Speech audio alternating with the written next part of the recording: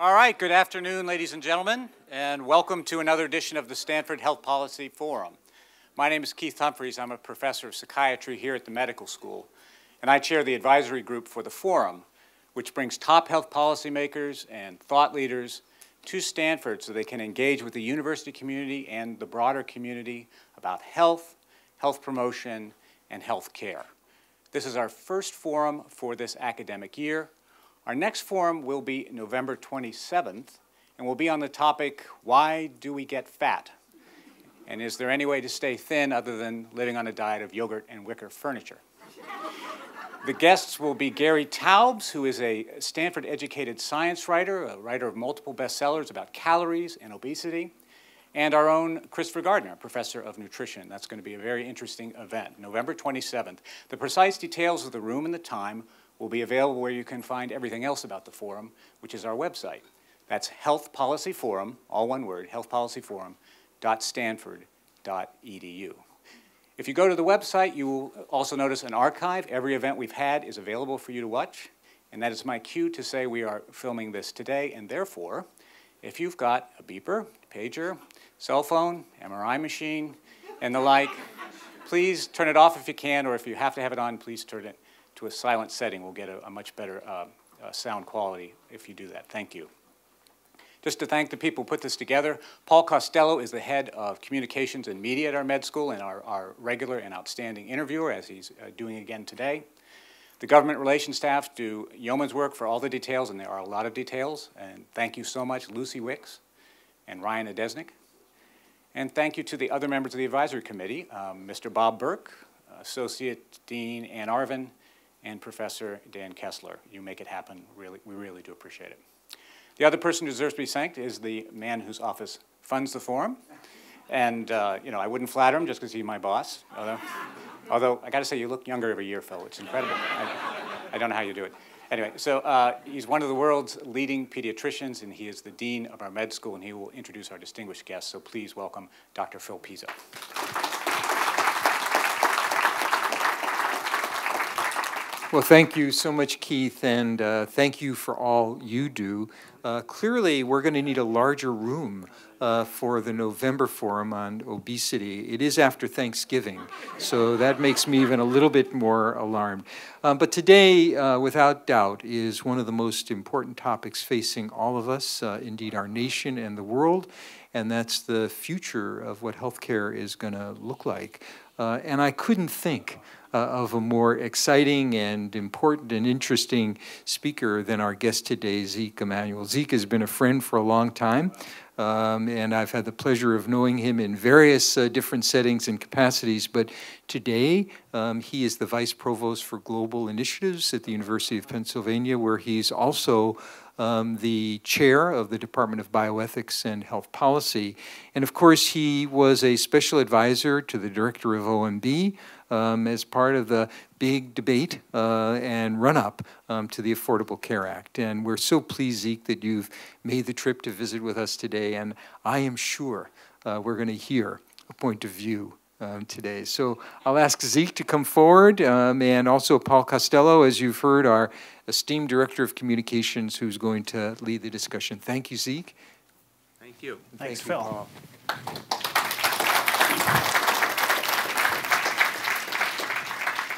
And thank you, everyone, for joining us today. We really appreciate your being here. Well, let's start out right away. And I want to start out with some recent news. In his Meet the Press appearance on Sunday, uh, Governor Mitt Romney stated a change in his position on the Affordable Care Act. And prior to Sunday, he said he would gut the act on his first day in office. And now he says he would keep one of the most popular pieces of the reform plan, which is allowing people with pre existing conditions to obtain health insurance. Can you parse this for us? I mean, is it possible, on the one hand, to eliminate the act and yet keep one of the most expensive provisions?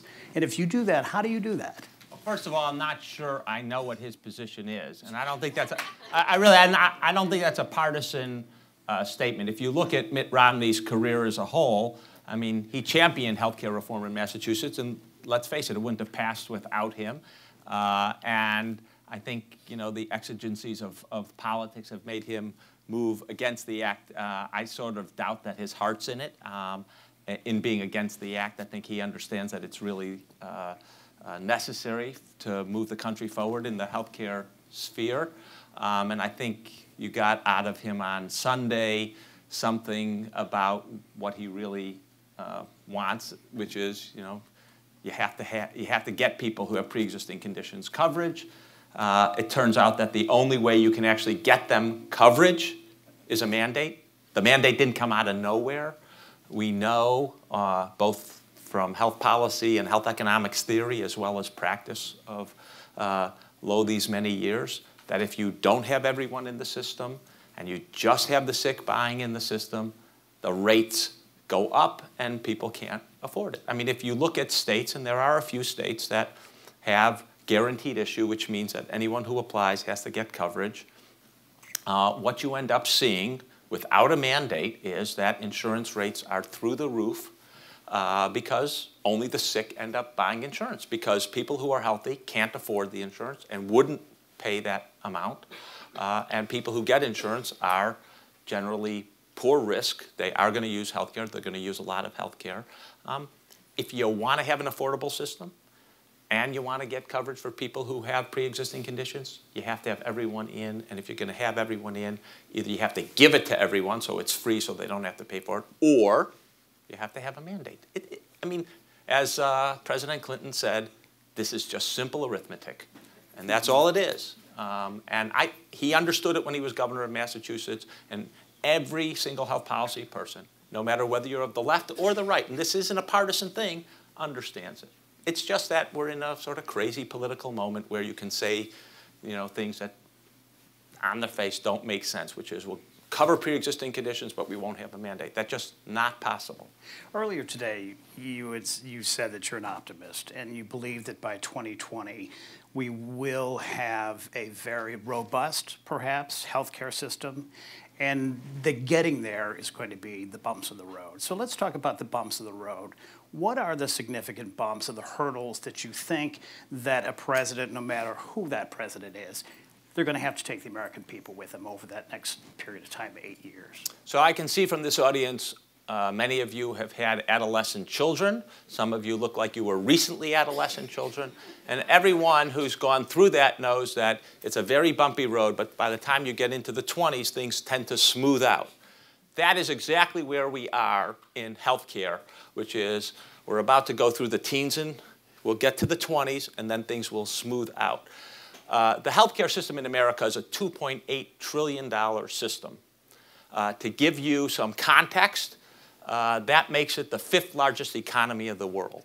Our healthcare system is equivalent to the entire French economy. Now, just take into your mind, we're going to change the French economy pretty substantially. You're not going to do that overnight. It's going to take time. It's going to be dislocating. Um, that's what we're facing.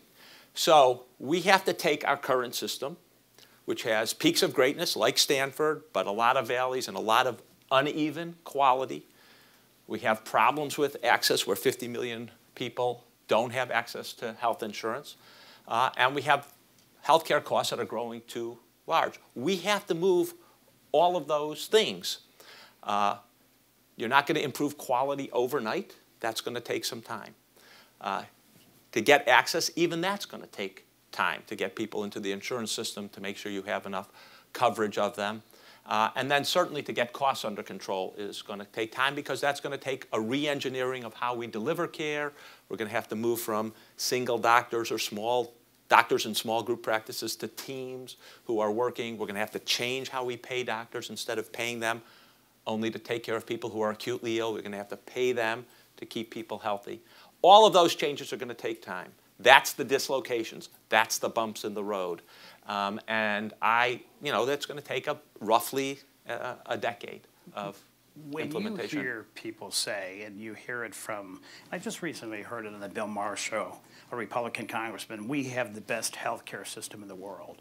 What's your response to that? How many of you in this room think we have the best health care system in the world? Well, I, look, I think, again, Schultz. I think it's, uh, it's a, again, we have peaks of greatness, and we should be clear. We have some of the greatest in the world. but the system as a whole is quite uneven. Almost by any metric uh, that we could use to measure it, uh, we are uneven, and we're certainly not performing as well as we should. Um, every other healthcare system has defects, but they also uh, have lower costs than we do, and I think in general, uh, many systems have less uneven uh, quality. Uh, so I think it's very hard to defend the proposition that we have the best healthcare system in the world. I think the other thing is, it turns out, and you know, most of us are very well off in this audience by the looks of it. Um, even for the well off in this country, uh, it always surprised me, you know, you can't you're not guaranteed great quality either. Uh, you know, you can go to a hospital and the rate of hospital-acquired infections is high, and you don't know whether it's going to be you or your neighbor. Even if you know the doctor, even if you know the president of the hospital, they can't guarantee it to you. The rate of, uh, um, you know, mistaken drug interactions, also high. So I think none of us should be satisfied, no matter how good our personal health care is, by the system because it's unpredictable what we're going to get or unpredictable if we have an emergency that we're going to get the right care. So we should all want the system to dramatically improve uh, its quality. And we also all should want the system to be able to control its costs because, after all, those costs, it's not that the insurance companies are paying it, it's not that the government's paying it, it's not that business is paying it. Ultimately, we're paying it. Whether we're paying it through taxes or through lower wages, we're paying it. And so we should want our healthcare costs to be moderated. Why do you think that the Affordable Care Act is so, at best, misunderstood and at worst, despised? Um, so I think there are two parts to that answer. The first part is if you take it apart, tease it apart, um, people actually like various provisions. You know, I'll, I'll just be blunt. I, you know, I have a 26-year-old daughter well, she's 25. She'll be 26 in November, and then she won't have coverage, but she has for the last year as she's gone in and out of the United States. When she comes back into the United States, she has coverage through her parents' policies. Um, so that's been a big boon to us. Um, uh, so I've been a, a, beneficiary, as have millions of other families, and, and a lot of upper middle class families in America because their kids have had coverage. And you can go down various provisions. Many people, uh, seniors, have gotten rebates through closing of the donut hole. Many people have gotten rebates because of the uh, uh, provision that insurance companies can't make excessive profits. You know, whether you're for them or against them, many people have benefited. I think the problem is um, that there hasn't been a good communication strategy to explain to the public the bill and the rationale behind various provisions of the bill. Um, I do think the White House has not done its job in this uh, uh, as well as it should have. Um, and I think that really does center around why do we have the mandate? Why do people have to be required to buy coverage? And the real, I mean, again, going back, you have to explain to people why the mandate is absolutely essential if you want to have a situation where Insurance companies can't discriminate against people on the basis of pre-existing conditions. Those two things go together. You can't have one without the other. And I think we haven't, the public hasn't been told, and that hasn't been clearly explained to them. I don't think the American public is unreasonable. Healthcare policy is complicated. Uh, I was once uh, told by uh, Vic Fuchs, who's on the faculty here at Stanford, when uh, he and I began collaborating almost a decade ago. He says, you know, there are only two people in America who understand health policy, and one of them just died. and it's a complicated business. It takes a lot of explanation, and as you know, all of us know, you can't just explain it once. Richard Nixon says, you know, you say something once, you say something twice, you say it seven, eight times, you're getting sick of it. The public's just beginning to hear it. And so you have to say and explain this relationship between pre-existing conditions and the mandate over and over again for the public to understand it. And I think uh, that just hasn't been done as clearly as it could be. When you step back and look at the efforts of the Clintons, the Clinton White House versus the Obama White House, and why President Obama was able to achieve the success, what was the dynamic? Why this moment versus the failure before? uh, I was involved in the 93 effort too. Um, uh, so I think, uh, I think uh, there are a number of components to it. Uh, one is the 93 failure did set up the uh, ability. We learned something from the 93 failure that fed into the being able to succeed in 2009. Uh, so it, it, while it was a horrible situation uh, and wasted, you know, uh, uh, 15 years, uh, people actually did learn lessons and became smarter because of it. And some of the lessons we learned is, you know, you will have a lot of interest groups against you. You need to attend to those interest groups, like the pharmaceutical industry, like the insurance industry. Um, and I think that was done this time. It was also quite clear uh, that uh, the Clintons, you know, did it famously behind closed doors, kept the press out. That was a very bad mistake. The Obama administration, I think, learned uh, from that. Uh, I think you had people like my brother uh, who had been through the first episode and took lessons along. Also, I think the debate uh, among health policy experts had matured enough so that the range of options had already been pretty well vetted, and a lot of the framework uh, people had, had been clear about. Uh, I would say also you had a, uh, a set of congressional leaders, uh, Nancy Pelosi, uh, she understood that you couldn't have three committees working on health care simultaneously. You had to have all of them come together. That, you know, we had five different congressional committees working on health care reform, unless there was some coherence and uniformity to that. Um, so she had them all working on the same bill instead of reporting out three different bills. So it's a lot of those elements uh, that were necessary to get this passed. And by the way, I, you know, I, I think we're still in the sort of heat of battle. It's, it's just been a little over two years. Um, in five years from now, we're going to look back and look at this as a real world historical event. We have been trying to get healthcare reform in this country for 100 years, since the early 19 teens, when FDR began campaigning on it. You know, finally to get it, that's uh, pretty remarkable. And uh, I think, you know, while we're still debating the mandate and, and the constitutionality and this and that, the fact is that this is a real, this is a real world historical event. Why did the Chief Justice support it? What, what was, you, you, know, you've now had a. I've never met the Chief Justice. I don't know. Why, what's your conjecture? Um, I know you've written about it. so uh, I would say that uh, the Chief Justice did not want it to look like a political decision. Of course, it was the most political decision that could have ever been made. Um, you know, it's a very strange decision. Uh, on the one hand, uh, he goes through this long argument as to why the Commerce Clause couldn't justify it. Typically, you don't do that in a decision. I mean, that's very unusual to explain why that argument won't work. You don't, you don't do that. Uh, and I think that's very dubious, by the way. I think, uh, you know, most, I would bet almost all the constitutional lawyers here at Stanford Law School would say that just doesn't work. There, there's a long list pedigree of very conservative justice, uh, very conservative legal scholars, whether you're thinking about Charles Fried, the Solicitor General under Reagan and Harvard Law School professor, uh, or Justice Silberman, the head of the D.C. Circuit. Uh, clearly, this falls within the Commerce Clause. It, I mean, it's open and shut. And that the Chief Justice said it didn't is a little weird. I mean, the, the distinction between activity and inactivity just doesn't hold here.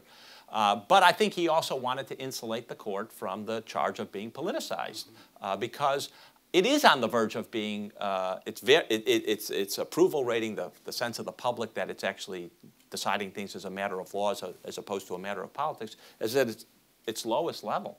And so I think uh, he wants to protect the institution. And I think this was a protect the institution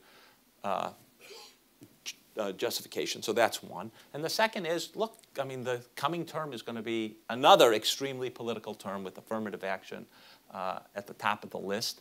And I think, uh, you know, this somewhat, I think, it, it, they think will insulate them. We'll see. I uh, heard that you had a bet with Scalia that it wouldn't pass the Congress, and you won that bet. Yes. And that was a dinner. So um, uh, I'm a, uh, I like to bet dinners. I have, I know it doesn't look like it, but I actually like food a lot. And I eat a lot of food, and I like to go to good restaurants. And um, uh, three days after the Scott Brown election, we happened to be at a dinner together, sitting across each other. And we got into a conversation about many things Social Security, the pay of Supreme Court justices. Um, and uh, he said, well, you know, the Affordable Care Act's not going to pass, and if it did pass, it'd be good for us.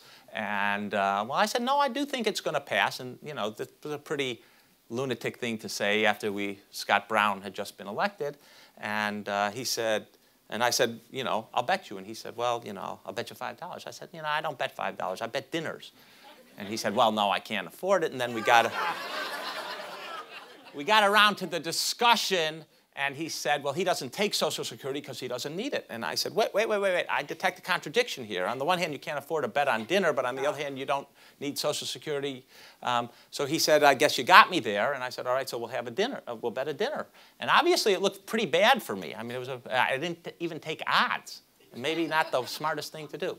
And so, uh, uh, yes, and he was a, I will say, he was a gentleman about it. We went out to a very, very nice dinner. Uh, and he's a wonderful uh, uh, dinner companion. You, you, can argue with him about anything. He's no hold bars. He's very funny. Uh, he's a very warm individual. And uh, that doesn't mean you agree with his politics or agree with the, you know, the way he uh, judges things. We we've had long arguments about Citizen United. subsequently, I invited him out to dinner, and subsequently, I've had him over to my house for dinner. And so we do uh, socialize, but we do not agree. And, uh, now, you see, know. the price of coming here today was learning that about Justice Scalia. so. I, you know, I, one of the questions that I think is fundamental to this whole debate on health care is what level of health care should be entitled every American? So the bill has this provision that uh, you have to provide essential benefits. Uh, it doesn't define essential benefits, it defines a process for trying to articulate essential benefits. Uh, the Institute of Medicine uh, came out with a uh, report uh, uh, about that. it also did not articulate the essential benefits that should go in, but it, it does pose this sort of, I think, lays down clearly a trade off between comprehensiveness, covering every possible benefit, and affordability. The more you cover, the less affordable it's going to be. The more you try to get affordability, you are going to have to trim and uh, uh, be more prudent in what you cover. And I think that's a trade-off all of us are going to, uh, I think all of us should face. Uh, it's irresponsible for us to say we're not going to ignore how much it costs, and it's irresponsible to say, you know, it's, it, we can have just a very, very thin package, only catastrophic coverage. And I think that is a, that's always going to be a dynamic situation. Um, but I do think uh, uh, too much, and I'll, I'll, say this as, a, as an ethicist, too much we have said, you know, additional services without thinking about the affordability and the consequences if we have a very comprehensive package and it's very expensive. Because there are serious consequences of a very expensive health care package. So let me just give you a few of them. The more expensive our health care is, the harder it is to cover everyone. We know that. And even in this new system under the Affordable Care Act, there are going to be some people who are going to feel like they can't afford health care, even with the subsidies, even with the exchange bringing insurance costs down. And so I think that, you know, even by the projections of the uh, Congressional Budget Office, we're going to get to 94, 95, 96% coverage. That's not 100%, uh, and part of that reason is going to be affordability. Second problem is high health care costs uh, are impacting the states. Uh, you know, all of you in California probably know it better than anyone else. When you have high health care costs, you have high Medicaid costs. And that puts the states in a bind. You can pay for Medicaid under those conditions. And it's not just Medicaid, by the way, it's also high state employee health insurance costs. And you can pay for those costs by raising taxes. Well, in California, that's an anathema. You can't raise taxes, as is true in most of the country. Right? And then, you know, the government officials are stuck in, with a dilemma of what do you cut to pay for health care? And we've all seen the consequence. Maybe we hasn't hit us straight in the eye, but the cuts to primary and secondary schools, the cuts to higher education, and as a consequence, the dramatic increase in tuitions at the great universities of the University of California, those are all very closely tied to increases in healthcare costs. Now, we may not want to see it that way. It may look like a fudge, but that's the way it is. You know, we should see that the increase at the UKL system in the tuition is a direct result of healthcare cost increase. And the third one, which I think is very important for all of us, is you know, wages have been flat. And one reason wages have been flat for the last 30 years is because healthcare costs have gone up and up and up and taken more of that increase in wages. But why wasn't that economic message that you've just talked about a central part of the sales of the Affordable Care Act? Well, I think the president did go around and talk about the importance of cost control. And he did say that that was an essential issue and the essential motivation for him in advocating health care. And let, let me add the fourth item, uh, which is that the growth of healthcare spending is the major threat to the deficit, uh, the major cause of the deficit, and therefore the major threat to the fiscal stability of the country. Um, and that the president did say over and over again. And I know that it's out there, you know, a decade or so from now, and so it doesn't seem so pressing. But uh, remember, uh, you know, the international monetary markets, uh, they don't give you a lot of warning before they suddenly say, man, we don't trust your currency and we're going to drive it down uh, to the ground. I think that was a, I think all of those were major motivations. You know, whether the communication strategy was the best around these is, you know, I wasn't the communications guru. I'm not the mm-hmm. communications guru. I'm a policy wonk, and so. You've talked about some interventions that I want to talk about, and you've spoken about these very high-cost interventions that are low-value treatments, and you spoke about two, You're Avastin. really going to get me in trouble. Yeah, I'm going to try. Okay. You talked about Avastin, which costs 880, no, it's 88,000 per year per patient for metastatic breast cancer. And the other one is proton beam therapy targeted for prostate cancer in men. And these two, I think that you've really stated that these two are microcosms of the difficulty of changing the system. If we can't throw out treatments that aren't working, that aren't cost beneficial, how can we change the system? So let me uh, dissect at least one of those, the proton beam one. Um, and I say that uh, working at an institution that has a proton beam uh, facility. Uh, proton beam is, uh, you have to generate it by uh, having a uh, accelerator. It's basically a hydrogen atom with the electron stripped off. You need a football field size building to contain the accelerator. Um, they're very expensive to build, uh, around about $100 million. Actually, Mayo's building two of them at $180 million each because they've got, they're really souped up. Um, now, the proton beam therapy is proven to be beneficial for kids with brain tumors and spinal cord tumors uh, because you can focus them very precisely and you spare the healthy tissue around the tumor and you really focus in on the tumor. And for kids whose brains are developing, it's been shown that you can have less cognitive decline, less impede, uh, uh, effect on their brain power, and less uh, um, hearing loss when the tumor is near uh, uh, their ear uh, pieces. And it's beneficial. I guess the good news is we don't have that many kids who get brain tumors, only 3,000 a year. You can't run very many machines on 3,000 kids a year. And so one of the consequences is we have roughly 20 of those machines, uh, 20, I forget the exact number at the moment. Uh, I think, well, whatever. We have way too many, 12, 14 uh, of those machines now up and running. And you don't need as many as we have for the kids, the just 3,000 kids. And so people who have the machines are looking around for other diseases where that might be effective. So they've tried it on breast cancer and esophageal cancer and gastric cancer and uh, um, pancreatic cancer. And they've landed on treating men with early stage prostate cancer with it. Uh, the only problem is there's not a shred of evidence that it makes any difference compared to regular radiation treatment. Uh, as a matter of fact, there are some shreds of evidence that it's actually worse uh, and um, it's uh, more than twice as expensive. Um, now, that just doesn't seem to me a deal that we should want our insurance companies, forget, you know, certainly we don't want Medicare paying for it because if it's no better and twice as expensive, all of us are paying that bill because we pay taxes. And we should also shouldn't want our insurance companies paying for it because it's the exact same situation, right? we pay premiums, and if they're spending money on things that aren't effective, you know, it raises my premium too. And I think that is a, it's very indefensible in my opinion. Um, and I do not see why an insurance company should cover it. I, you want it? You want to pay the money for it? More power to you. But I don't think that as a system, this goes back to your question about essential benefits. In my opinion, it's quite clear that should not be part of the essential benefits. We should not be paying for that. That raises the cost without improving the quality.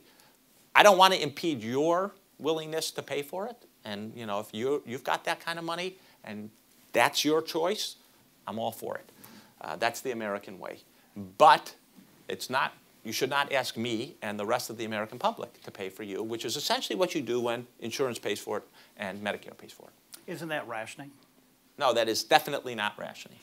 Um, I, I, so I'm just going to, uh, first of all, I'm going to plug, can I plug my course? Sure. Okay. Uh, at the moment, at the University of Pennsylvania, I'm teaching a course called Rationing and the Allocation of Resources. Uh, actually, this last Wednesday, uh, we had uh, 45 minutes on the definitions of rationing. That course will be publicly available for free on the Great Stanford Coursera program, uh, coming in the spring, in uh, probably be available in March or April. Um, but it's not rationing. So rationing is when you have an absolutely scarce resource you can't cover everyone who needs it, and you have to pick people. So the classic examples are we don't have enough livers in this country for everyone who needs a liver transplant. We do about 6,000 a year, and there are about 16,000 people on the waiting list. And even if we got every liver from everyone who was a suitable donor, we wouldn't have enough. That's rationing. Similarly, if we, God forbid, have a great flu pandemic, we won't have enough vaccine for everyone to go around. Picking who gets it creating a list, that would be rationing. This is not rationing. Proton beam does not work, and is not proven to work for men with early stage prostate cancer. Not covering it is not rationing. How do we get around the word and grapple with that word rationing, which is oftentimes the elephant in the room? How do you think, as a country, we, as a nation, we come to some understanding of what is rationing versus what is not rationing? I tried to just defi define it for yeah. everyone. I'm giving a course to try to help people understand it. I mean, what else do you want me to do? I mean, I do think, you know, trying to explain it, try to put the category where it is, work, uh, it's necessary, and then talk about other stuff where it's really not a case of rationing, and I think saying it over and over again. And I do think calling people out who are simply using it to raise people's blood pressure and get people riled up where it's inappropriate is very, very important. We cannot let, in my opinion, uh, that kind of irresponsible uh, uh, discussion rule the day and govern our uh, uh, debates. As uh, the great Senator Pat Moynihan said, you know, you're entitled to your opinion. You are not entitled to the facts. You cannot just make up definitions for words to, you know, promote your opinion. There are reasons we have words. They have meanings. We need to stick to those meanings. And we need to enforce that as a public and say, you know, we're not going to put up with that kind of uh, uh, statement that really deviates from the case of using the words properly. And, you know, the same thing happened with the death panels. We'll talk about that in a minute. I oh, just thanks. wanted to. Uh, really? You're, you're, making my day here. I'm trying to. You know, you've long uh, preached about the inefficiencies in the healthcare system. And just last week, as many of you know in this room, the Institutes of Medicine said America's healthcare system has become too complex. We know that. And costly to continue business as usual. We know that also. The committee calculated about 30% of healthcare spending in 2009, roughly $750 billion, was wasted on unnecessary services, excessive excessive administrative costs, fraud, and other problems. So where do we, we, we now know that information, we've known that information. Where do we go with the low-hanging fruit to get at the efficiencies? So uh, let me just reemphasize, uh, it is important that the Institute of Medicine uh, uh came to that conclusion. That's the, I think, fourth report uh, that uh, has highlighted roundabout that same number. So you can come to that by saying, all right, let's look at each place that we're running the system and how much could we save by best guesses and by studies. That's what the Institute of Medicine did. You could go and compare the United States to Europe and say, well, if we were running in the same way that Europe was running, how much could we save? That's what the McKinsey Institute did. Uh, you can do this by saying, well, let's look at our best performing states and compare them to our worst performing states. And if we brought our worst performing states up to our best performing states, how much could we? They all turn out to coalesce and overlap round about six, seven, 750 billion dollars. And again, just to put that in context, you know, we 2.8 trillion dollars. Even if we don't get all of that money, even if we get only a quarter of that, or you know, that's 175 billion dollars. That's a lot of money a lot of money. That's almost two years of healthcare inflation there. It's more money than it's going to cost to get all the people onto the healthcare system. So we have to be very clear uh, about that. So what are the kinds of things we need to do? And there's a, a, a I think, a pretty good list of uh, uh, approaches that are going to help us get some of that out. One is we do know that a large, we have a large administrative inefficiency. Some of that's built into the fact that we're a federalist country and we have 50 states and insurance companies have to go through 50 regulations and we have lots of, uh, of different regulations. We also have a lot of different billing systems, but there's almost everyone who's looked at it, there are low-hanging fruit. Consolidate the, uh, have the same uh, billing system have the same way of credentialing doctors, one central uh, way. M require everyone to bill in the same way. So, you know, you have a swipe card, it pulls up the information. Uh, you have electronic claims processing rather than having someone in the doctor's office put it in uh, by hand and make a mistake. Lots of technologies there. One of the things that I'm very proud of uh, uh, myself and actually sitting here, Bob Kocher, who worked with me, uh, we were together. He worked at NEC. We pushed and championed and took a lot of slings and arrows for pushing in the Affordable Care Act steps along the way to create administrative efficiencies and administrative simplification.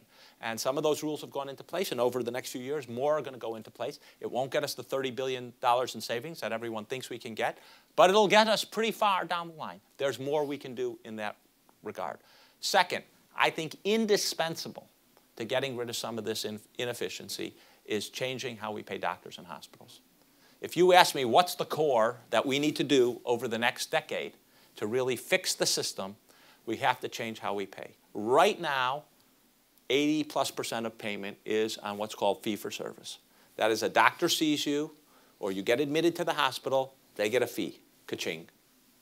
You know, you go in for surgery, the surgeon charges, the anesthesiologist charges, the radiologist charges, the pathologist will charge, there's a hospital operating room fee, and on and on and on, right?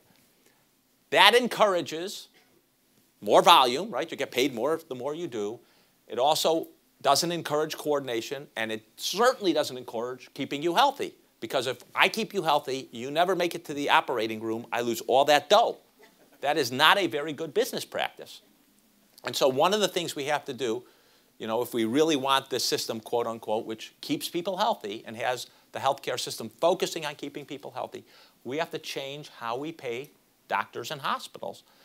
That change, I believe, going to initially bundling, that is, putting all of that together. So instead of paying the surgeon and the radiologist and the anesthesiologist in the hospital all separately, and the rehabilitation doc, you put it all together in one price well, that encourages them to collaborate, become efficient, uh, get the unnecessary stuff out.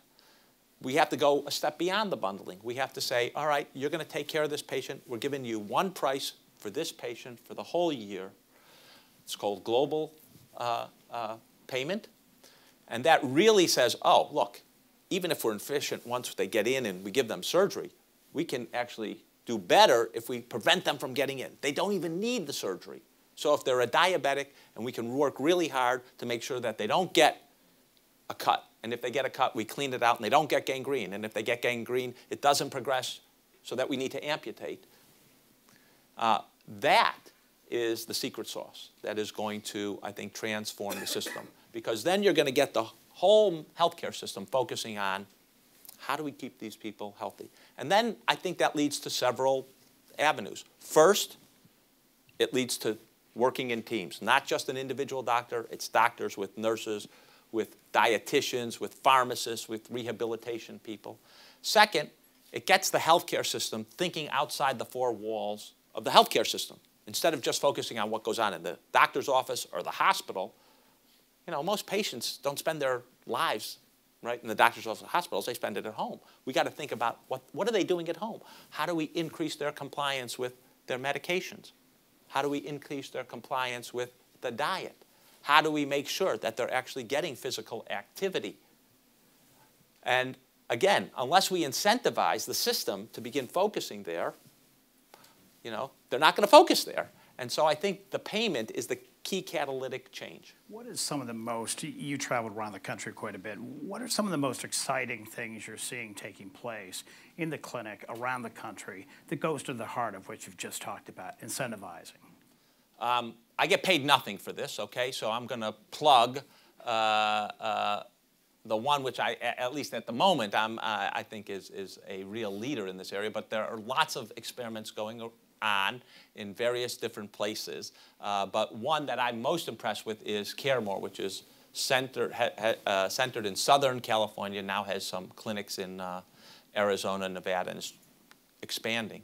And um, they get a global payment to take care of elderly people, and they do a huge, I mean, again, they focus on the team. A new uh, elderly person gets enrolled. They have a two-hour visit, go through everything, history, their drugs. They get a screen for dementia. They get a screen for depression, mental health. Turns out that about 17% of their elderly patients newly arrived have signs of depression. Uh, they have a team taking care of. They put in a lot of infrastructure to monitor them at home. Weights that get communicated in uh, regularly. Uh, um, hemoglobin A1C for diabetics that gets communicated in. Uh, breathing for patients with emphysema. They have specialized clinics. Again, I mentioned the diabetic and the, and the wound. They have specialized clinics for diabetic wound care where the doc doesn't do it, you know, once every few weeks in his office. They have one nurse who's superb at it, and the patients go there and get, and get the treatment. They do things that are usually not covered by insurance, things like exercise and balance classes so that elderly people don't trip or fall over. They sometimes replace carpeting in people's houses. They have a transportation service so that they can bring people with chronic illness in to the office so that they don't miss appointments where the next stop is, well, the emergency room, then a hospital admission, and on. They have remarkable results. Their, their amputation rate among diabetics is about 60% lower than the competition. Their hospital admissions about 38% lower than the competition their readmission rate for their patients is 10%, whereas the national average for these patients is 20%. They uh, are 15 to 30% cheaper than the competition. So what I like to call this is they just spend a huge amount of attention on pe people with chronic illness in an effort to keep them healthy and out of the clutches of the healthcare system. And that turns out it's not by saying no, not by denying care. It's actually by keeping people healthy that they're able to really both improve the quality of life of these people and keep the cost of the healthcare system down. And, and that's, just, that's just one example. There are uh, many other places that have tried similar things. But that's the transformation that you're going to see, I think, over the next decade. And another transformation we're seeing right now is big medicine. Do you have concerns about this consolidation of the industry? Is it inevitable when you have these pressures on dollars that you can't have singular physicians anymore? You can't have small practices. You have to have big medicine. And do you see dangers in that? Uh, the answer is yes to both, uh, which is um, uh, having single or groups of two physicians has certain appeal, but uh, you have to have an infrastructure behind them to provide high quality medicine today. It can't just be an isolated doctor or two. You need the infrastructure because it's got to have electronic records. It has to have other healthcare providers beyond the doctors, as I mentioned, nurses, dietitians, physical therapists. Uh, you also need to have uh, a, a, computer system that has support services.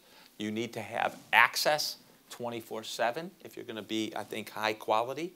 Um, uh, so I think somehow, it doesn't have to be uh, big medicine, but it has to be a, a, network in some way that connects doctors. And I think there are going to be various different forms of this. We don't know the best form, and I'm not sure there is a single best form. There's probably going to be multiple ways of doing the same delivery.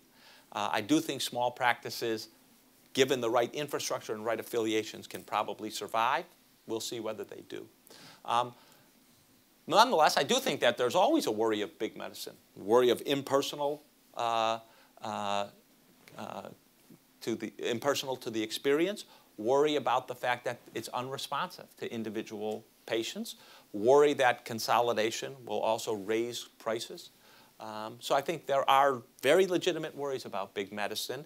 I also think in terms of delivering co con continuity of care and focusing on keeping people healthy, it's also probably inevitable. You tried to have a conversation during the healthcare debate about end-of-life issues, and end-of-life conversations usually typically take place 33 days before a patient dies, and 80% of people say they want to die at home, but only 10% do. Well, I, I, don't know that that last number is correct, but anyway. Well, I'll give you those I'll, numbers. Okay.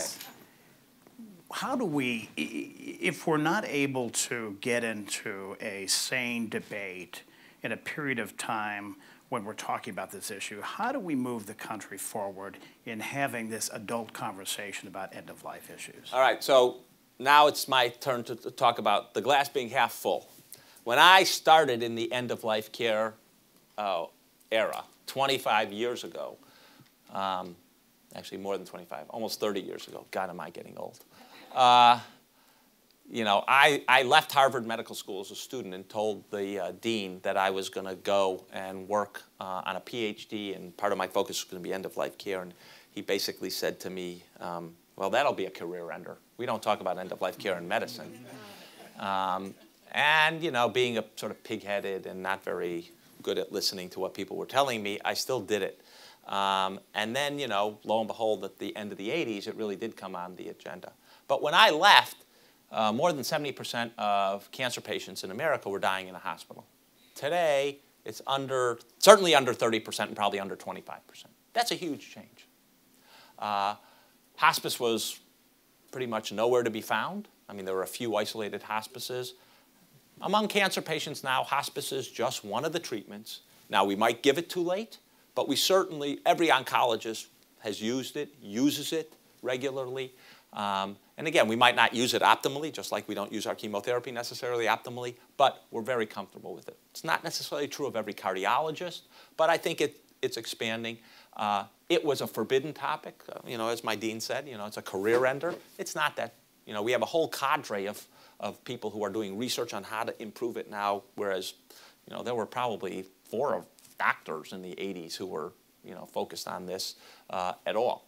So I think we've actually made huge progress as a society. We haven't made as much progress as we should or as we like, and there's plenty of stuff we can do to make it better. What can we do to make and, it better? Well, let me just say why I think the, the I actually think the death panels thing backfired.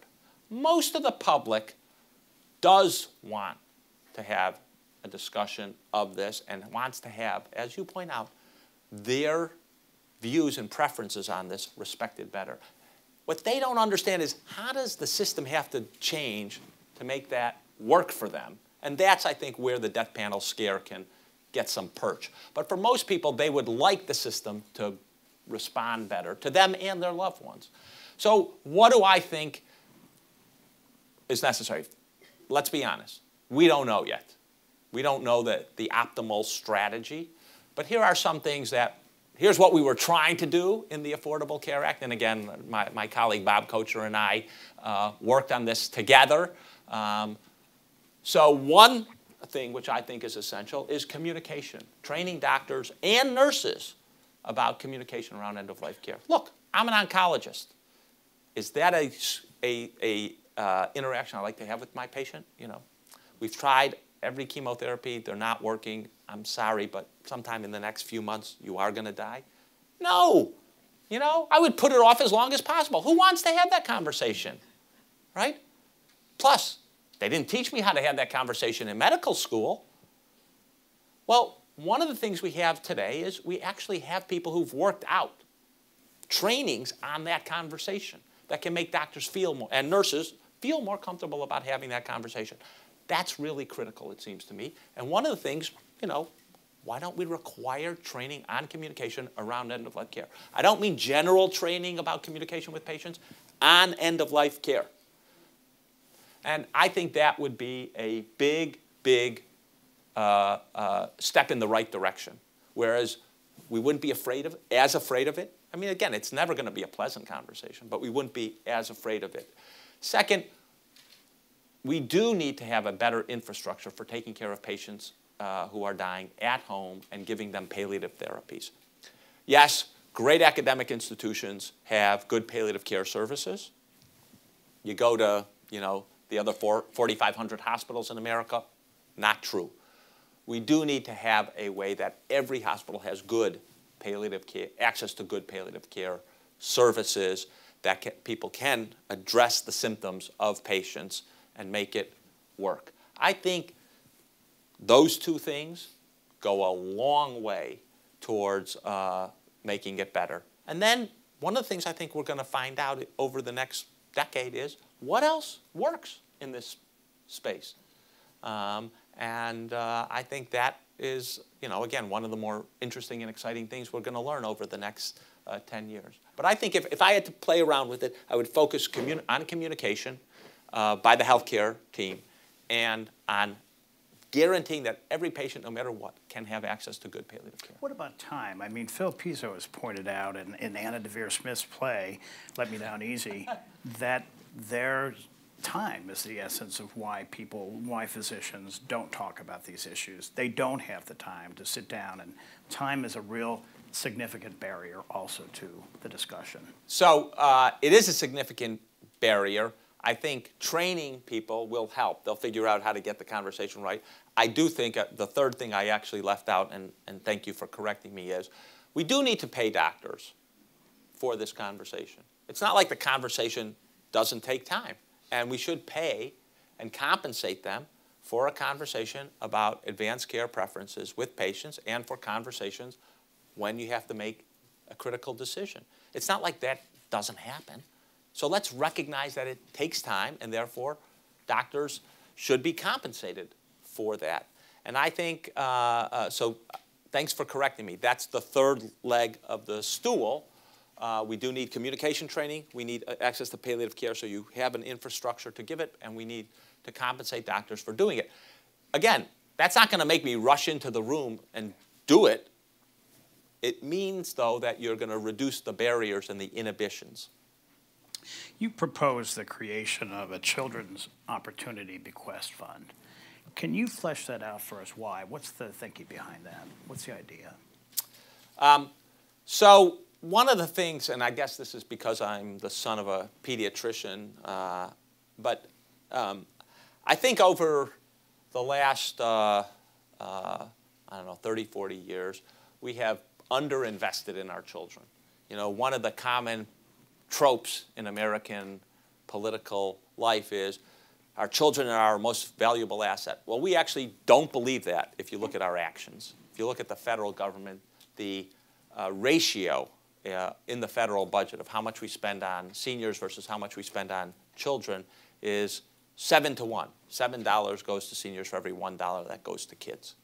And it seems to me most of us find, would find that disturbing right? We're, kids are our most valuable asset. They're our future. They're the future of the American populace. Um, most of us think, you know, we're not doing enough in their education. Uh, there's probably a lot more we can do about obesity, about their exercise, about getting, keeping them in school. Um, so, on the other hand, you know, no one wants to give up their slice of the federal budget for one thing, if I give it up, there's no guarantee it's going to go to kids, right? Who knows where it goes in the federal budget? It's like a big black hole. So my, you know, sitting back and saying, well, how do you motivate people to say, all right, I'm willing to give up something for kids? Well, one of the things I think that motivates, would motivate people is, I'm willing to give it up for my grandchildren. Um, and so you would say, well, I would go either without Social Security for a couple of extra years or without Medicare for a couple of extra years, and I would assume the cost. If I could redirect that money to this Social Security number, which happens to be my grandson. Now, if you're wealthy, I think you should have to, if you want to give it to your grandchildren, that would be great, but you'd also have to match that by giving it to a pot that would go to kids who either don't have grandparents who are so wealthy and can afford to do it, or really aren't, you know, related to grandparents because of however they've been born. Uh, and that, that would go to someone within your zip code so that it would build up your community, a poor kid be, who, who raised beneath the poverty line. It, was an, it is an idea that I think of how do you motivate people who I think really genuinely would like to give to their kids and to children uh, to motivate them to give it. As a someone who wrote me uh, after I published that said, you know, most old people don't want to be, you know, well off while kids are, you know, in poverty. That just doesn't make sense to them. On the other hand, the mechanism, the way to solve that problem is not obvious. We haven't created it. You know, let me just give you another statistic about how bad I think we, uh, we are in this society around uh, kids and, and elderly people. So in the 1960s, around a third of people over 65 were under the poverty line. We've brought that down to under 9% now in America. It's a great success, right? Over 90% of elderly people are above the living above the poverty line. We've done just the opposite with our children. You know, we have, I think, a quarter of kids are now born below the poverty line. 40% of kids are on Medicaid. You know, it's a horrible statistic. We should not be proud of that. We have to figure out how to rebalance that. And it seems to me this sort of bequest idea or creating a fund that can be directed to, to children is my attempt to think through how do you create an infrastructure that allow people and encourage people to uh, give to their children. We're going to take questions from the audience in one minute, but I want to close with two things. One is that you're an optimist. You really believe that we can turn this healthcare system around with all of its significant issues, with all of the funding problems, with all of the problems in efficiency. You do see a sun at the end of whatever may be the darkness en route. Yes. So I have a slide when I give my usual stand-up presentation, uh, my stump speech I call it, and it at the top says, I am an optimist. I say, uh, and I think guaranteed by 2020, guaranteed by 2020, the healthcare system will be better than it is today. How can I say that? How can I be sure about that? First, on the access side, we will have an infrastructure exchanges, Medicaid coverage that'll get everyone in the country access to health insurance. That's a big improvement. Two, on the quality side, every one of you is going to have an electronic health record, which is going to be interchangeable, interoperable, it'll be accessible. Hospital acquired infections, hospital mistakes will be down. They are going to decrease. We're providing incentives. Hospitals are working diligently across the country to do that. Readmission rates going to come down. We're spending a lot of money in developing new quality metrics so that we'll really be able to assess doctors and hospitals and we'll finally be able to know whether the Mayo Clinic is the Mayo Clinic. We'll have data that'll allow us to know. And on the cost side, all of those things are going to save some money.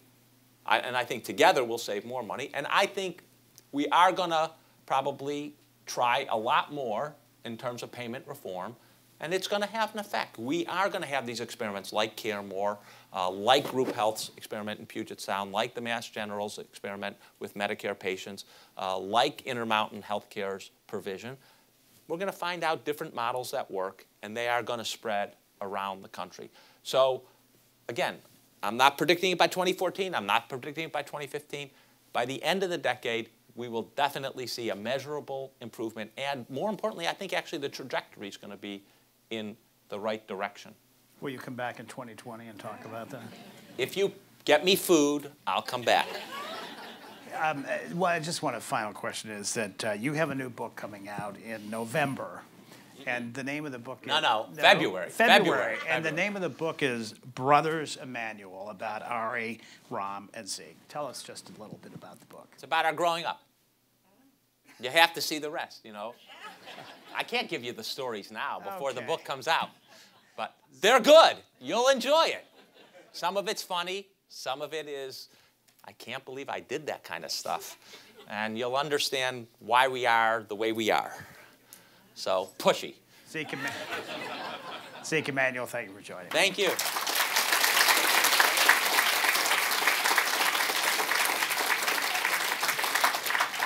We're going to take questions from the audience. I think we're going to, we have a microphone right there.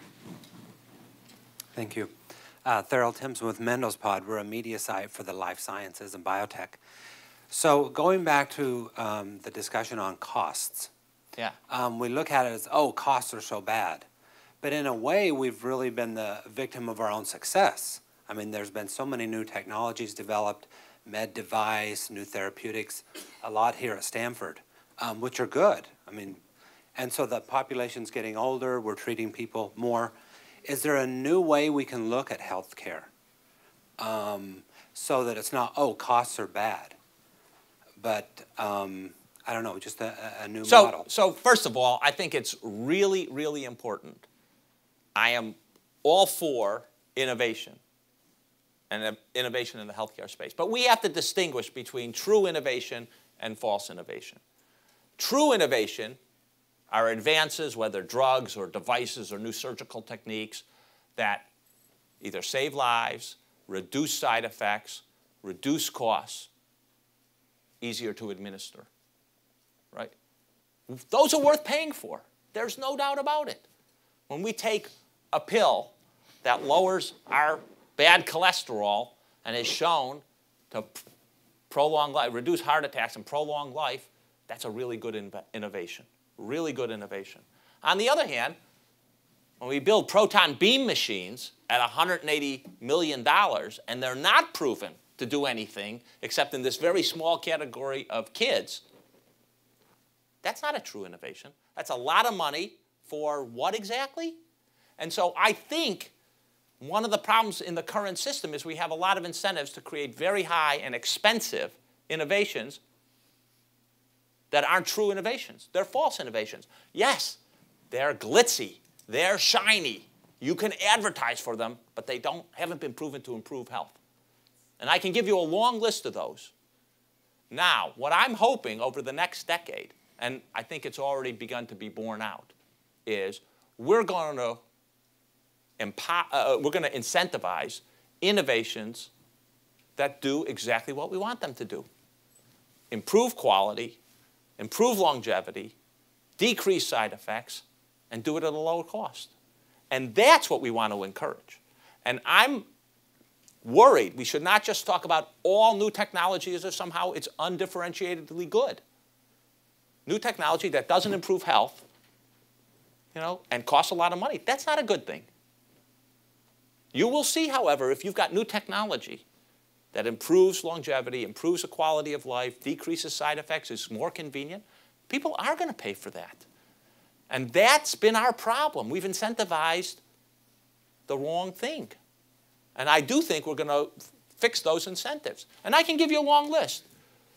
You know, recently, uh, uh, device maker uh, wanted a new device for to hold the patella during a knee replacement. Went to the Royal College of Art. Right? If you wanted a new device, wouldn't you go to a college of art to get it? Right? They actually have a division in London that does medical devices. They redesigned it instead of heavy stainless steel, it was injection mold plastic. Instead of reusable and sterilizable, it was disposable, so no infection problems. And it turned out to be more accurate than the heavy stainless steel one. And one tenth the price. Right? Now that's, that's a true innovation. Better quality, lower price. There's another one, a new bottle top for medication, those prescription pills, to encourage people to take it. So there's a light on it, an LED, that is green when you're supposed to take it and turns to red when you take it. And if by 11 o'clock in the morning you haven't taken it, it sends a message to your doctor.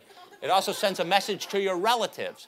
And by the way, when you get down to 10 pills left, it sends a message to the pharmacist.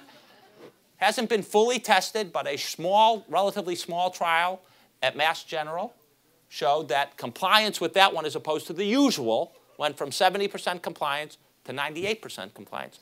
That's a true innovation.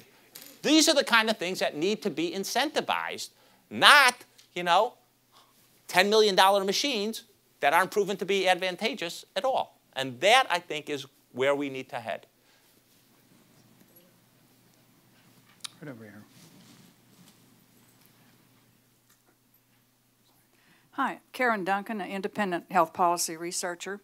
Uh, you've talked a great deal about cost and uh, to a certain extent about access, but uh, I want to ask you a quality question. Would you comment on the adequacy of medical education given the intellectual and professional demands that, uh, that accountable care, for example, makes on physicians? I'm not sure that's a quality question so much as a medical education question. And I actually, uh, and I appreciate the question because uh, I have written a little bit, uh, but I uh, uh, will begin writing a lot more about uh, the fact that we have to change the medical education system for the next century, I believe. we're clearly not educating our medical students, I think, for the coming way they're going to practice we need to do a lot better training in terms of teams. Uh, the practice is going to evolve to, as I mentioned, not just single doctors, but you're going to work on a team. That's a different dynamic than the way we've been trained. Uh, and probably we need to do something different in medical school. I don't know whether it's co-educate with nurses and pharmacists and others. I think that probably wouldn't be a bad idea. Um, second, one of the things we're going to have to have is a lot more management training of doctors. Now, I know that's an anathema. That business school over there, you know, and the medical school, they don't get together. And I know that certainly through my training, we look down upon them. But let's be serious. How we build teams. Really, it's not just, you didn't learn that in the womb. You have to learn certain things about it. Negotiation, we're constantly negotiating with patients, with nurses, with fellow doctors, with hospitals. We need training in that. How to use data to improve care. How to run lots of small experiments in improvement. Get the information on whether it works or not and change. Rapid cycle improvement. We need training on that. Finances. We need some training on that. Leadership.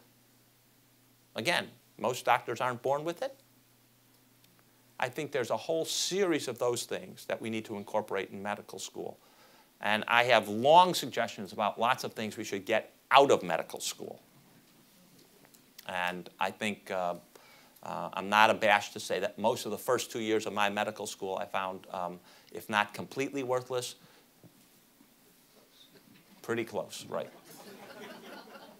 you know, it's not clear to me that I ever used the Krebs cycle uh, in medical school or the Starling law. So I think, I think, you know, if you don't want to reduce the first two years to nothing, you can certainly reduce it to a year. Duke has shown that. Um, that saves you a lot of time to do other things. Uh, and I think easily within the four years, and I would actually say even within three years, we could get what we need to. But I do think that's going to have to change, and it's going to have to change a lot more rapidly than it has changed in the last hundred years. We'll go to the back. Here, the schools do talk to each other. Well, you're on one campus, and you're one of four major, you know, Right. one of four leading universities where that's true. I happen to be on the other one, and I do think it makes a huge amount of difference. In the back. Hi, my name is Kimberly Lovett. I'm a family physician. I'm also a student at Stanford Law School right now. Um, thank you very much for coming. What an inspirational talk you gave. Um, I do want to ask a question. You were talking about global payments, and you were talking about a model of care that did show that um, they reduce their cost of healthcare spending. They also increase the quality. One concern that I've heard about something like global payments or bundled payments is that potentially um, physicians start to make less money. And of course, every other country where they do show better you know, healthcare quality, lower cost, physicians are paid a lot less on average than our physicians in this country. And um, I'm wondering how you rectify that and that sort of necessary thing to happen when we do pay so much more for our education here. I mean, I already have $250,000 of debt, and, um, and of course, law school is not going to be helping that. Um, but you know, you, you got to wonder how do we pay our physicians and, and justify that decrease? So, uh, first thing to say is uh, I don't think uh, the approach I've recommended, either whether it's through bundled payments or through uh, global uh, payment, uh, necessarily means doctors are going to be paid less. As a matter of fact, there are many scenarios where doctors are actually paid more. Uh, um, and it depends upon how doctors uh, adjust to the system. That's the first thing. The second thing is, it is true in most European countries, uh, Japan, et cetera, that they, doctors there make less than doctors here. Simultaneously, however, our healthcare costs are 50% more than all those other countries. We have plenty of money in the system for doctors to continue to be well paid, and no one is talking about we're going to take our system from $2.8 trillion down to $2 trillion. All of this talk about controlling costs, it's controlling costs. It's controlling how fast we go up, not about going from 2.8 down to 2. That needs to be very clear. How can doctors do better, actually, in a new model system? Well, one of the ways is doctors could actually get paid for all of the things that they do, and if patients don't go into the hospital as frequently, if you don't have complications as much, if you don't have readmissions, there's savings there, some of which can go to the doctors and some of which can go back into the system or go back into people who are paying, paying premiums. And if you look at the ratios, hospitals are about a third of the healthcare spend, and doctors are, their salaries are about 10 or 12 percent of the total healthcare spend. You don't have to, you know, if you change uh, pay payments to hospitals by about 10 percent, turns out that that's a very big increase in what doctors can earn. It's about a 30 percent increase in what doctors can earn. So uh, there are many ways by which actually we can control costs, change how we pay without forcing doctors to have lower salaries. Over here. Just walk in front. Uh, I'm Stan Schrier, Stanford hematologist. I think you wrote a piece in the New York Times where you identified a major cost in medical care as being the care for chronic illness. I wonder if you have some thoughts about how we can take care of patients with type 2 diabetes or chronic congestive heart failure and so forth, improving the quality but controlling the costs. Uh, thank you. Uh, I didn't make this point, and I probably should have. So one of the most, uh, when I teach my students at, at University of Pennsylvania, uh, I say that the second most important slide in health policy is a slide that shows uh, the fact that costs in the American healthcare system are not evenly distributed. They're lumpy bumpy. 50% of the population are basically out of the healthcare system. They use 3% of the costs. They're irrelevant. Who are they? You know, they're the young adults sitting in this audience, right? They're kids.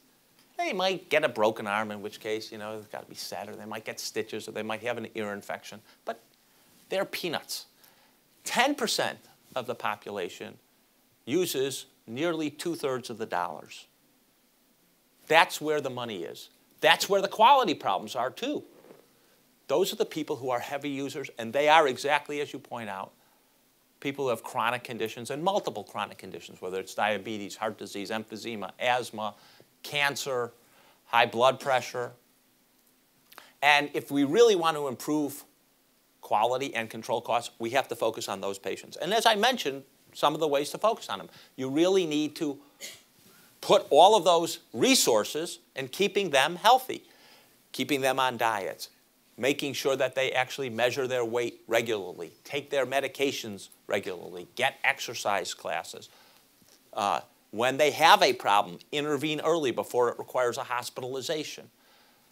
All of those things, that's the places that have succeeded in improving the quality, like CareMore, like Group Health, like other places. They focus on those patients with chronic illness. They focus on keeping them healthy and they are able to have better quality and lower costs. And uh, you're absolutely right. It's only by fo focusing on the chronically ill that we can get these two things, high quality and low cost, going together. How about um, we'll go here and then there and then in the back, right here. Following up on that point about costs versus outcomes, you've given two examples which were easy, it seems to me. The Proton B was not a better outcome, but high cost, so you don't want that. They replace the plastic knee as better outcome and lower cost, you do want that. What about the middle ground where something is high, uh, substantially higher cost and a better outcome? Is there a way of calculating a cost per benefit, a cost per life, or cost per life per year? How, do- how do you make those tough choices? And and aren't there a big percentage of the total dollars spent in that middle ground with high cost and better outcomes? Well, I'm not sure that there's a big percentage of cost in that middle ground. I don't know that anyone's uh, differentiated it. But there's no doubt that there are a number of interventions, like the new interventions for cystic fibrosis, which have a big improvement for patients, and I think it costs a quarter of a million dollars a year. Um, and that's obviously a serious challenge uh, to the system. I think uh, I don't want to go around measuring uh, cost effectiveness ratio and using that as a strict way. I don't think that's uh, appropriate. On the other hand, I do think uh, if we get our payment system right and we get the practice right, we are going to find out uh, that the incentives for developing things uh, which have high cost but minimal benefits is probably going to disappear. Um, high cost, high benefits, like the cystic fibrosis uh, intervention, I think we're going to pay for that. You know, we already do pay for those kind of things. Liver transplantation, quarter of a million dollars. Well, it turns out it's, you know, 85% success rate at five years for, you know, kids and young adults. Well, no one has any problem paying for that, right? Not even the most hard-nosed, green eye shade guy is going to say, yeah, I'm not sure we should do that. No, it turns out if you're really saving life and you're really improving the quality of life of people, and it's going to cost money, we're going to do that. The problem is when we're paying $100,000 and we're extending life on average two months. You know, but if you got a system that is actually paying for high quality and you know efficiency, it's not clear to me people are going to continue to develop those kind of interventions. There, um, the woman raising her hand in the back, and then we'll go over here. Um, Right, yeah.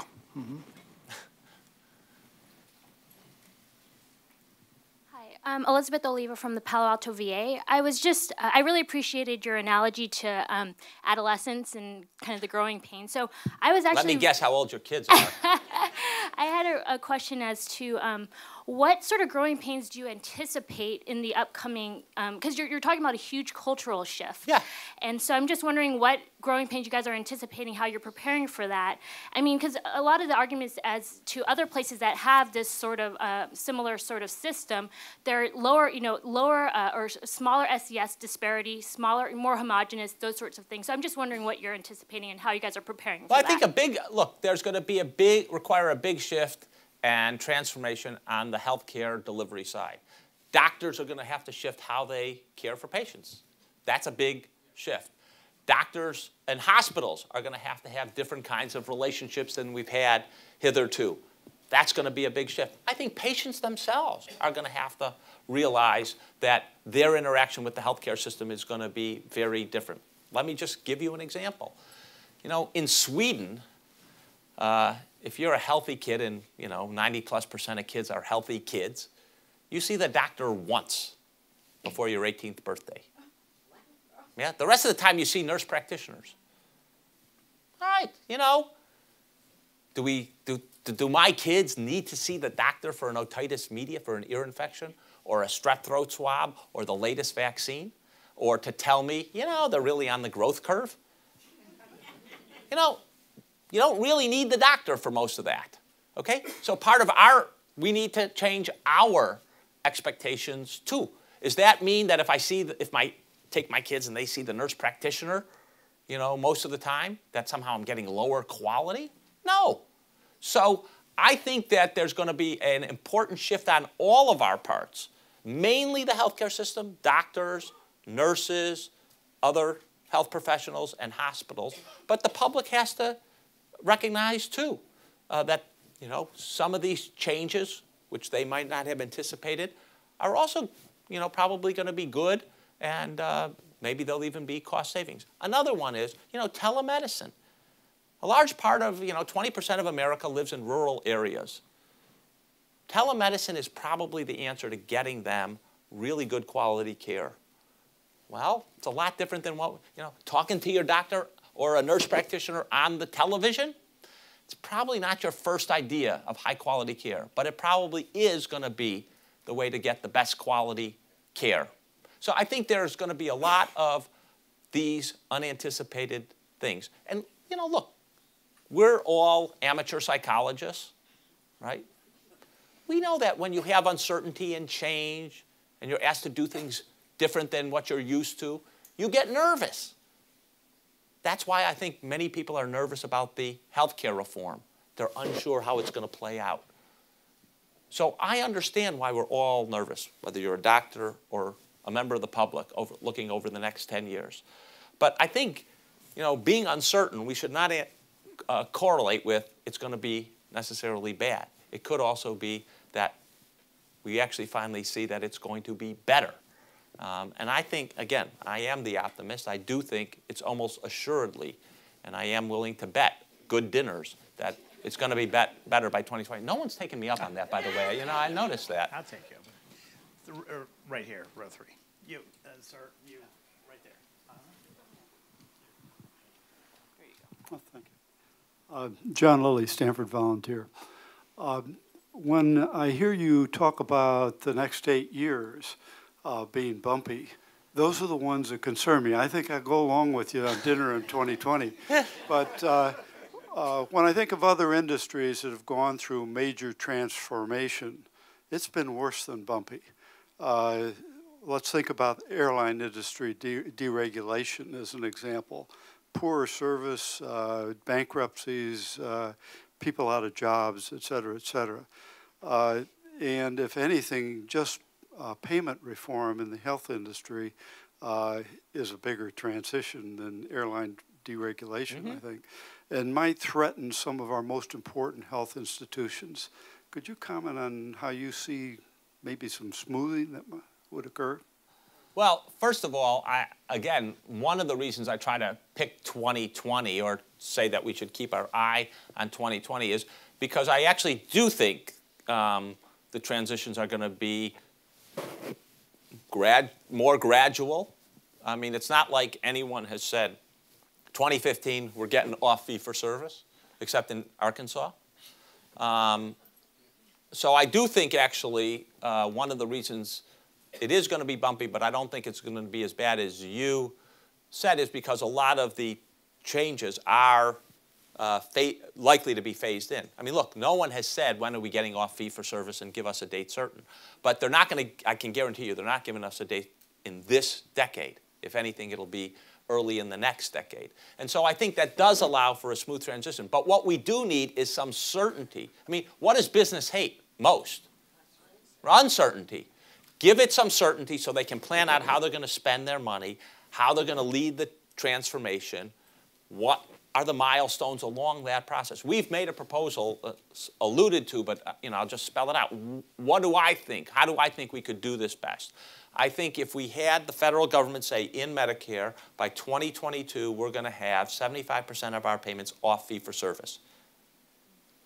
Everyone then understands, you know, the head of Stanford Hospital, the head of the Palo Alto Health Clinic, all of them understand, all right, 2022, my business model is going to be completely different. So now I can, I know I've got a decade to plan. Second, I think we should say, all right, so here are some milestones along that path for you. First, we should shift all cardiac, whether it's bypass surgery, stents, catheterizations, pacemaker placements, and orthopedics, hip and knee replacements. We should shift those to bundled payments. And we can do that quickly because Medicare has a bundle payment model. It's tested out. It's been shown to save money. It's been shown to improve quality. We've already worked it out. Just say, we're going to roll that out by 2014. It leads to lots of advantages because it gets the doctors and hospitals communicating, it gets them working in the same direction. That tells everyone, A, we're really serious, and B, here's the first step. But it's not that radical a shift. Then we can say 2017, we're going to have two chronic conditions. My proposals are for a bunch of cancers, adjuvant treatment for breast cancer, colon cancer, lung cancer, where, again, the professionals, the oncologists, my colleagues have defined here's the right way of treating people for a year. We're going to bundle that payment. Then we're going to take something like congestive heart failure or coronary uh, artery disease. We're going to bundle that. So we're going to get not just these procedures, but we're also going to begin getting chronic diseases by 2017. That gives people a glide path. And once Medicare does that, you've got private insurers that are going to do the same. And then we can expand beyond the bundle payments to global payment or other financial systems. I think that smooths out the transition. It alerts everyone to what is going to happen. That is my hope uh, uh, for the system. I've been blabbing about it for a lot of time in Washington now. And I think that would be a much better way than, you know, next year we're deregulating, which is basically the way the airline industry did it. So. Last question, right here, this woman. Thank you. Hi, I'm an undergraduate economics student writing about cost controls of healthcare plans. And you want me to read your paper? no, um, I actually read your book, Healthcare Guaranteed, and I know you stress the use of electronic medical records, but you also mentioned that these have very high startup costs. My question is how do you incentivize providers to actually implement well, we've already done systems? it. So the Recovery Act, not, that, not actually the Affordable Care Act, but the Recovery Act, uh, in that act had uh, an incentive structure for uh, doctors and hospitals to adopt electronic health records, recognizing that there are startup costs. Initially, they decrease productivity. And there's a network effect. You know, you can have it, but if the specialist you're referring the patient to or the laboratory aren't using it, you know, it turns out to be a big investment for not a whole lot of payout. Um, and the uptake has been tremendous uh, in terms of uh, doctors and hospitals implementing electronic health records. Um, and uh, I think, you know, by 2015, uh, you've got to implement them, otherwise you begin to get dinged. You get uh, payment reduction from Medicare. Um, and I think the, the fact is we've also seen a big profusion of companies working in the electronic health re record area. You know, most doctors who you talk to or most nurses who you talk to about electronic health records, you know, moan about, you know, it doesn't do this and I can't do that. Yeah, for sure. But again, by the end of the decade, we're going to have a lot more technology in this space. Um, you know, how many of you remember when you couldn't send an email between an Apple computer and a PC? We solved that problem, right? But it once was a problem. We are going to solve a lot of these hiccups and pain in the necks about the electronic records. And we're going to figure out how it's better. And I'm sure once the uh, voice to uh, uh, uh, translation you know, once we get past that crappy Siri and get into something that's real, realistic, um, you know, it, probably you'll speak it. And uh, I think things will be a whole lot better in that sphere. And by the way, the advantage of electronic health records is not just that, you know, it's interoperable. We're then going to have the ability to actually track people better. We're going to have the ability to make predictions better. We're going to have the ability to figure out which patients are at high risk and intervene before they get sick.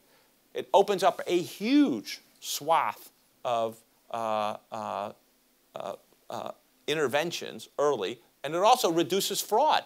You know, allows you to have better predictive modeling about, you know, who's overbilling you or who's playing games or who's not treating patients despite the fact that you're giving them payment, who's actually not treating them up to snuff.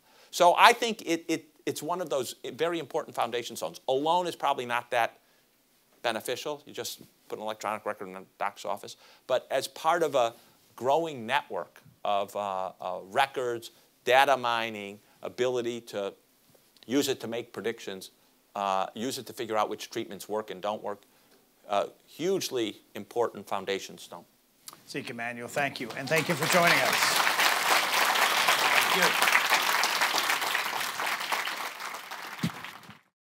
The preceding program is copyrighted by the Board of Trustees of the Leland Stanford Junior University.